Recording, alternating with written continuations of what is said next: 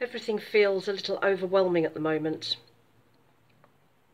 I have mistakenly allowed myself to be sucked in again by news channels. You know, once a day I'll just click onto Google News on my phone and skim the headlines. And then I might watch one video on YouTube, an update to do with, I don't know, interest rates or financial changes that our wonderful new Labour government are thinking of bringing in. And then my whole YouTube feed is full of it. And I click on too many of the wrong videos at the moment.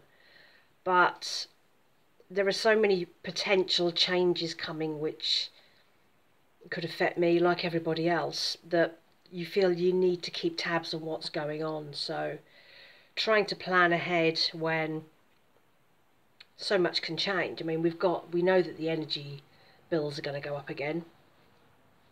1st of October. We know that's happening. And there's all sorts of other things being thrown around which we probably won't know about until the budget at the end of October. Like, are they going to cut the 25% discount for single people on council tax? That's going to have a huge knock on effect for me. And what's happening with interest rates? What about um, what about this this pence per mile? I mean, some people say they're not going to they're not going to do it. Others are saying I, I was reading something in on the news yesterday, and they were talking about it like it was a foregone conclusion that it was going to be 15 pence per mile and it was coming in now. And I hate the clickbaity headlines. It really irritates me how the newspapers can throw in a headline knowing that people won't look at the article and find out what's actually being said because when you click on these horrible headlines and then you read the article, the article says something completely different to the headline, but it's about them just getting the clicks, just getting the likes, and that really irritates me because most of the headlines that you see at the moment regarding government changes and finances, the headlines are wrong, they're deliberately misleading so I try to, you know, keep a very balanced view of it. This pence per mile thing hasn't come in yet, and they're going to have to do quite a lot of infrastructure changes to make that be a thing. Because I don't, there were two suggestions. The one was obviously cameras on all the roads, but there are thousands and thousands of roads with no cameras, so how are they going to track your mileage? They'll only be able to track you on the major roads at the moment. So that infrastructure would take, with the way the government is at the moment, probably years to put into place. The other one was that they you, you pay your mileage based on when you take your car in and your mileage is registered at your MOT. So each year you would be billed based on your mileage, based on your MOT mileage, which would make a lot more sense. Um, but again, I would imagine the infrastructure for that will take some time. Then, of course, they're talking about, you know, car tax instead and changing the car tax. I mean, if they if they did a pence per mile, can I afford to go and do hikes anymore? because that's unnecessary driving that's going to cost me extra money because I've already got to put the petrol in to get there. When am I going to go be able to go down and see my parents? This article that said that they're bringing in the pence per mile thing now was a woman who lived up near where I live and has to go down to London for family. And what she gets, she's going to have to cancel Christmas because she can't afford the round trip if it's 15 pence per mile. But these are figures and things being bandied around that haven't been put into place yet. So her saying, well, I'm going to have to cancel Christmas because I'm not going to be able to afford to go because of 15 pence per mile, but nothing's in place yet. And I can't imagine that it will be in place. But if they did bring it in, when am I going to get to see my family? Because my family live the other side of London. And at the moment, I go down there four times a year that's pretty much all I can manage because petrol costs money. So is that going to have to change? Um, the hiking is going to have to change because I can't get to the places that I want to go to. Nowhere really is within walking distance for me that's worthy of an actual hike. There are some woodlands and some parks and things, but I can't be doing the same boring circular walk every week. The whole point is that I get out of this town, not stay in it. I want to get as far away from it as possible. So there's the impact of that. There's the impact of, you know, the, the, the, cutting of the winter fuel allowance for elderly people, and the, then you get the YouTube videos coming out saying this is a stealth tactic by the Labour government to um, because they need to thin out the old people.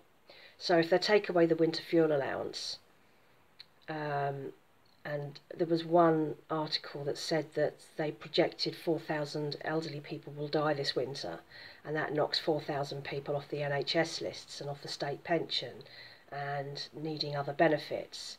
And it sounds awful, but you know, you think, well, why else would they want to cut all these allowances for elderly people when the fuel's about to go up? They want them all dead, don't they? Because they're a burden. And your brain starts to believe the rhetoric.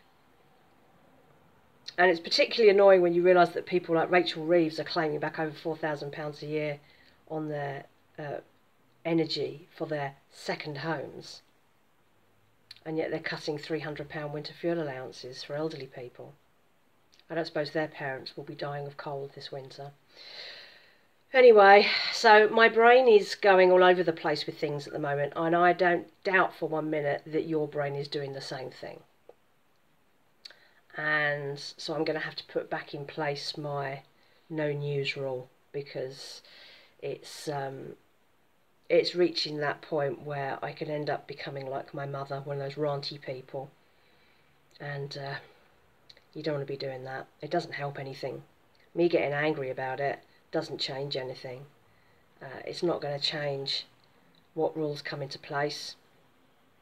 And we'll have to wait for the end of October to know what's going to go on in terms of the budget anyway. But if you're if you are finding everything that you're hearing in the news at the moment overwhelming.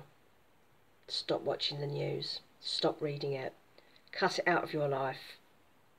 Give yourself a mental break from it because it won't help. If they're going to cut the winter fuel allowance, they're going to cut it. If they're going to take away the 25% discount for single people on council tax, they're going to do it. And no matter how much you worry about it or get angry about it, it's probably not going to change anything. So give your mental health a break and stop looking at the news. Stop looking at the clickbaity headlines. Stop falling for information that is uh, not true yet, things that haven't been brought into place. Stop reading about the speculation. Until things are put into place, it's not happened and you need to take a step back from that because it's not going to do you any favours. Focus on what you can change. Focus on living the best life you can. Embrace what you can within your life and try and filter out the bad stuff because you getting worried about it isn't going to change a thing. Anyway, that's a very short termism way of coping for now. And until we get to I suppose the end of October and the budget comes in we don't know what's actually going to happen. And then it will all kick off. But at least I'm pleased to say that uh, the Labour Party is rapidly falling out of favour with everyone. That's the one small glimmer of joy that we have in all this. But no government is popular. Anyway, needed to get that off my chest. I needed to say that. I'm now going to stop watching the news. I'm going to cut out the YouTube videos that do me no favours. And I'm going to coast through for a bit because I can feel that it's starting to drag me down and that's never a good thing. So please do the same thing. Cut it out don't discuss it with people because it's very incendiary and try to streamline your life a little bit because there's a lot of rubbish going on out there that is doing you absolutely no favours whatsoever. So there's my little bit of advice for this week, and I will speak to you soon. Look after yourselves, and above all, look after your mental health right now because everyone is losing their minds.